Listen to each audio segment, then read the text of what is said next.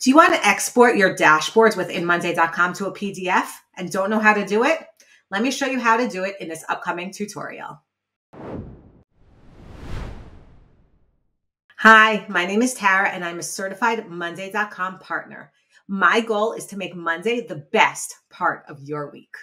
If you need help with a custom implementation, my contact details are in the description below. So let's jump into today's tutorial. In order to download a document as a PDF in your Monday.com board, you need to set up a dashboard. Now, as you can see here, I have a board called Grant Overviews, and this was used for managing grants. And here's your main table or your main view. And what I set up is a dashboard over here. If you click the plus button, you can click blank view. It used to be called dashboard, but now they changed it.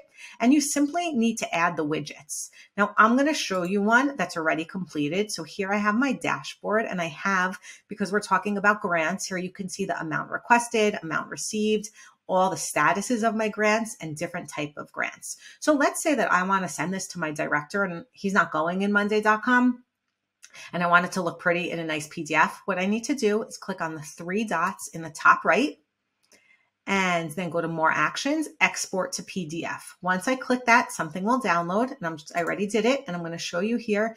You can see that it pulls in the name of the board, the date and the time, and then it has all my widgets in a beautiful PDF. I hope that you enjoyed today's video. If you did, like it below. And don't forget to subscribe so you can receive tips and tricks on how to use Monday.com. That's it. Until next time.